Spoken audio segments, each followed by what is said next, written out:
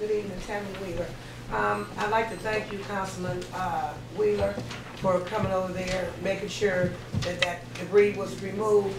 And I also spoke to you, Ms. Thomas, about it as well, and there's something else that I need to speak to you about later. Um, my question is now, this bond money that you guys are talking about, this six million or eleven million cap, um, with you all being in the financial, uh, have, with the problems that are going on here financially, even though you're saying that you only have to pay half of it back, is that what you're saying, like, you'll pay fifty percent of what you borrow back? What you get, yeah. Wow. Um, now, is that gonna be enough to take care of the problems that are here? Because it seems to me that you got way more than eleven million dollars worth of problems here. Yeah. So, you know, I'm just wondering if this is gonna be, uh, another financial fall that you're gonna have later on Yes, it years back. So I'm just wondering if this is a good decision to make, I mean, I don't know.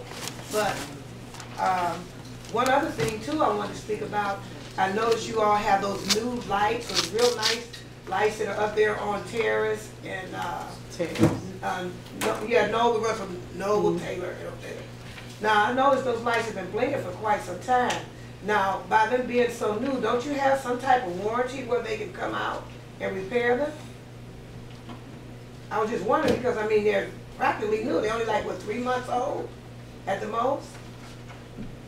And that's a dangerous area for that lights to be blinking like that constantly. So, that was just, you know, one of my concerns I wanted to ask about. Okay, and one more question, then I'm done. Um, now, about the house that, uh, the last meeting that you were talking about, that, uh, was over there on, uh, Oak Hill. One, one question I wanna ask now, if it's a lot, it seems like it's a lot of confusion about that property. Uh, you all got developers that are in here buying properties and buying land.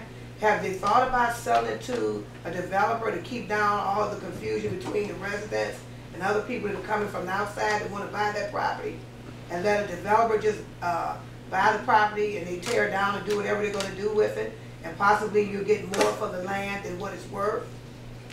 If a developer comes in and offers you, uh, a price for it? Because it seems like it's a lot of confusion about that property. I mean, I went and saw it and it's really not worth it to me. Cause it'll take fifty thousand to fix it. Thank you.